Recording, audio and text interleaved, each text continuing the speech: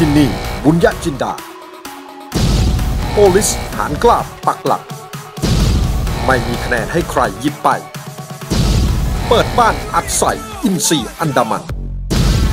ศึกยามาฮ่าลีกวัน 2015 เพื่อนตำรวจพบกระบี่ FC วันพุธที่ 15 กรกฎาคมนี้ เวลา 18 นาฬิกาณสนามบุญญจินดา